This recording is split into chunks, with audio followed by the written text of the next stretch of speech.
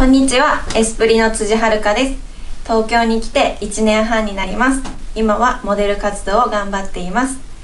私の大好物をご紹介したいと思います。1位は餃子です。